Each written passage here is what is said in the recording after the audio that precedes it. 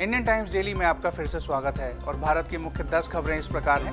भारत ने यह स्पष्ट कर दिया है कि वो अफ़गानिस्तान के युद्धग्रस्त इलाके में सेना की तैनाती नहीं करेगा, जैसा कि भारत और अमेरिका ने मिलकर आतंकवाद को खत्म करने और उन देशों को सबक सिखाने की प्रतिज्ञा की है, जो इसे स्टेट पॉलिसी के तौर पर इस्तेमाल कर रहे हैं। स्पष्ट रूप से ये इशारा पाकिस्तान की तरफ़ है। जम्मू कश्मीर में सबसे लंबे समय तक रहने वाला आतंकवादी कमांडर कयूम नज़र सुरक्षा बलों द्वारा उस समय मार दिया गया, जब वो पाकिस्तान से भारत में घुसने की कोशिश कर रहा था। नज़र ने 1999 में आतंकवाद की दुनिया में कदम रखा था, जब उसने गुट के तत्कालीन विवादास्पद ऑपरेशनल कमांडर अब्दुल मजिद डार की हत्या की थी। वाराणसी के कमिश्नर नितिन गोकर्ण ने शनिवार को विरोध कर रही बीएचयू की छात्राओं पर हुए लाठीचार्ज के संबंध में रिपोर्ट पेश की और इस हिंसा के लिए विश्वविद्यालय प्रशासन को दोषी ठहराया।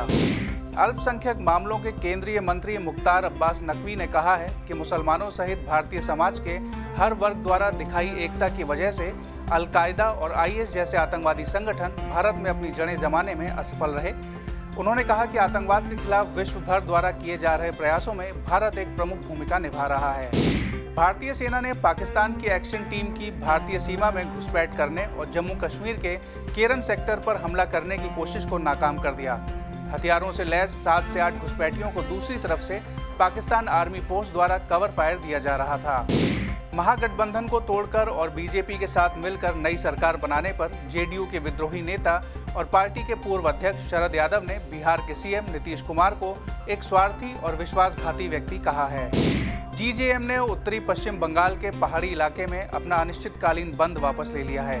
केंद्रीय गृह मंत्री राजनाथ सिंह द्वारा तीन महीने से चल रही हड़ताल को बंद करने की अपील और इस मुद्दे पर एक मैत्रीपूर्ण समाधान खोजने के लिए उन्हें वार्ता के लिए आमंत्रित करने के कुछ घंटे बाद ये हड़ताल वापस ले ली गई। जीजीएम एक अलग राज्य गोरखालैंड की मांग कर रहा है। आईआरसीटीसी होटल्स कॉन्ट्रैक्ट के मामले में कथित गड़बड़ियों की जाँच के सिलसिले में सीबीआई ने आरजेडी चीफ लालू प्रसाद और उनके बेटे तेजस्वी यादव को फिर से सम्मन जारी किए हैं।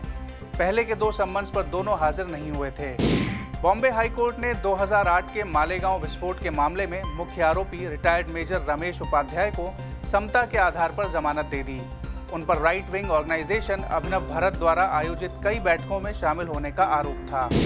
Celebrity interior designer Gauri Khan अगले महीने London night club Cirque Le Soir में होने वाली वन नाइट ओनली पार्टी के लिए सेट्स डिज़ाइन करके अपनी क्रिएटिविटी का प्रदर्शन करेंगी। हमारे साथ जुड़े रहें दोस्तों। हम कनाडा की महत्वपूर्ण खबरों के साथ जल लौटेंगे।